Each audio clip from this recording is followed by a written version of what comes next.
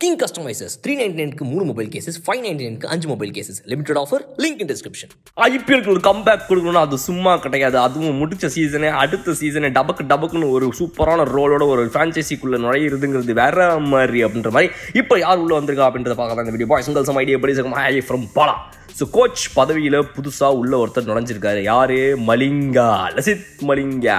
சைடாக ஓடி வருவேன் நேராக ஓடி வருவேன் சைடுக்காக போடுவேன் நேராக போடுவேன் எப்படி போடுவேன் யாருக்கும் தெரியாது. காலையே வச்சு சொத்துன்னு அடிப்பேன். ஸ்டம்பெல்லாம் உருண்டு பிறண்டு பேட்ஸ்மேனே பறந்துருவார். தெரியும்ல? அப்படின்னு சொல்கிற மாதிரி ஒரு பவுலர் தான் நம்மளுடைய லசித் மலிங்கா அவர்கள். பவுலிங்காக மட்டும் அவர் ஃபேமஸ் கிடையாது. அவருடைய ஹேர் ஸ்டைலுக்காக அவர் ஃபேமஸ் ஆனவர். டிஃப்ரெண்ட் டிஃப்ரெண்டான ஹேர் ஸ்டைல் கர்லிங் ஹேர் அப்படின்ற மாதிரி அழகான விஷயங்கள்லாம் வச்சிருக்கக்கூடிய நம்மளுடைய லசித் மலிங்கா அவர்கள் இப்போ ஐபிஎல் திரும்ப வந்துட்டார். இந்த இரண்டாயிரத்தி இருபத்தி ரெண்டு ஐபிஎல்ல எந்த டீம்ல வந்திருக்காரு? அதை நம்ம முக்கியமாக பார்த்தாகணும் இல்லையா? முதல்ல வந்து மும்பை இந்தியன்ஸ் அணியோடய வந்து இணைஞ்சிருந்தார். இத்தனை வருஷங்களாக வந்து மும்பை இந்தியன்ஸ் அணிக்கு ஒரு சூப்பரான சிறந்த ஃபாஸ்ட் பவுலராக இருந்தது மட்டும் இல்லாமல் ஐபிஎல் வரலாறுலேயே இப்போ வரைக்கும் ஹையஸ்ட் விக்கெட் டேக்கர்னு நம்ம தலை வந்தேன் நூற்றி எழுபதுக்கு மேலே விக்கெட் எடுத்துக்கிறாரு இப்படிப்பட்ட இந்த வீரர் வந்துட்டு இப்போ திரும்ப உள்ளே வர்றாரு. அதுவும் வந்து ஒரு கோச்சாக வராதுங்கும் போது என்ன பேட்டிங் கோச்சாக வருவார்? பவுலிங் கோச் ஃபாஸ்ட் பவுலிங்கான கோச்சாக வராரு. எந்த அணி கொடுத்துச்ச அணி? ராஜஸ்தான் ராயல்ஸ் ராஜஸ்தான் ராயல்ஸை பொறுத்த வரைக்கும் எல்லாரும் தூங்கி எந்திரிப்பாங்க. அப்புறமா வந்துட்டு தூங்காமையே இருக்கிறதுக்காக என்ன பண்ணணும்னு யோசிப்பாங்க. பட் கஷ்டப்பட்டு தூங்கிடுவாங்க. திரும்பவும் தூங்கி எந்திரிப்பாங்க. இப்படின்றத நம்ம பார்த்துருக்கோம். எங்க? கிரவுண்ட்லேயே கிரவுண்ட்லையா ஆமாம் என்ன பண்ணுறது அப்படிப்பட்ட இந்த அணி இப்போ வந்துட்டு ஹே அப்படின்னு எந்திரிச்சு உட்காந்து அப்படி ஜாலியாக சும்மா ரொம்ப ஃப்ரெஷ்ஷாக விளையாடுறதுக்காகவே வந்துட்டு ஃப்ரெஷ்ஷாக உள்ளே இறக்கிருக்காங்க. சும்மா பல பல பல பல பலன்னு யாரை? நம்ம ரசித் மலிங்க அவர்கள். என்னவா?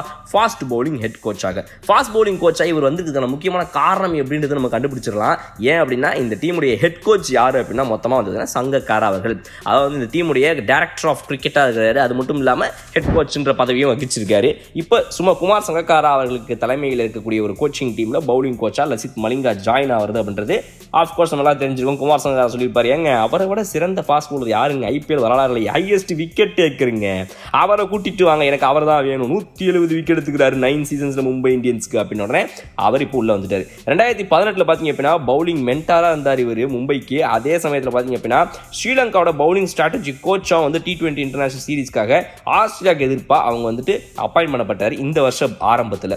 இப்போ பார்த்தீங்க அப்படின்னா மலிங்கா அவர்கள் நம்ம குமார் சங்கரோட சேர்ந்து ஆர்ஆர் அணியுடைய பவுலிங் ஃபாஸ்ட் பவுலிங் கோச்சாக இப்போ மாறியிருக்காரு. இது மட்டும் இல்லாமல் இவரோட சேர்ந்து இன்னொருத்தர் வந்து உள்ளே வந்திருக்காரு. பேடி அப்டன் இவர் நிறைய இடங்களில் பார்த்துருப்பீங்க. மேட்ச் நடக்கும்போது ஐபிஎல் வந்துட்டு டக் அவுட்ஸில் காட்டுற சில முக்கியமான முகங்கள் இவருடைய முகங்களும் இருக்கும். சார் யார் சார் நீங்கள் ரொம்ப க்யூட்டாக இருக்கீங்க. அப்படின்னு நம்ம சொல்கிற மாதிரி இருப்பார்.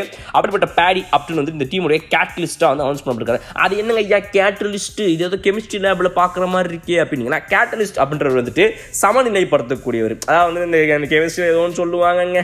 கேட்டலிஸ்ட்னு ஒன்று நீங்கள் ஆட் பண்ணீங்க அப்படின்னா அது ஏதோ ஒன்று ஆகும்னு ஏதோ ரியாக்ஷன் சொல்லுவாங்க இல்லையா? அந்த மாதிரி தான் இவர். கேட்டலிஸ்ட்டாக இவர் என்ன இந்த டீமில் பண்ண போகிறார் அப்படின்னா இந்த டீமில் இருக்கக்கூடிய பிளேயர்ஸுடைய மென்டல் ஹெல்த்தை பார்த்துக்கக்கூடியது தான் வந்து இவருடைய முக்கியமான விஷயம். என்னப்பா சொல்லுங்கள் என்ன பண்ணுது? காது பக்கத்தில் ஆஹா புரியுது. இப்போ நீங்கள் வந்து என்ன பண்ண போறீங்கன்னா உங்களுடைய மனநிலையை நீங்கள் ஆப்புன்ற மாதிரி வந்து அமைதியாக யோகாலாம் பண்ண சொல்லி பேசுவார் போல இருக்குது இவர்.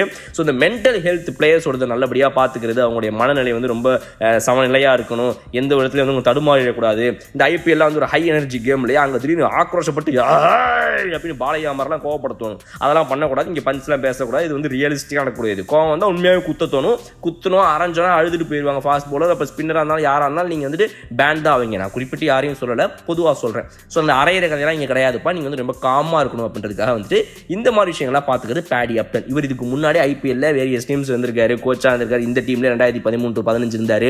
அப்போ இவங்க வந்துட்டு செமிஃபைனல்ஸ் கூட போயிருந்தாங்க. ஸோ அதெல்லாம் எல்லாருக்குமே தெரிஞ்ச விஷயம். ஸோ இப்போ இவர் திரும்ப இங்கே வந்திருக்காரு ஸோ இது போன்ற கேஸ் நம்ம லேடிஸ் மிஷன் நியூஸ் வீடியோஸ் உங்களுக்கு பார்க்கணும் அப்படின்னா கலர் சப்ஸ்கிரைப் பண்ணுங்க. பெல் ஐக்கான பண்ணுங்க. அடுத்த வீடியோ நான் உங்களுக்கு பார்க்குறேன். அது வரை உங்களுக்கு உங்கள் பலம் okay bye king customises three ninety நைனுக்கு மூணு மொபைல் கேசஸ் ஃபைவ் நைன்டி நைனுக்கு அஞ்சு mobile cases limited offer link in description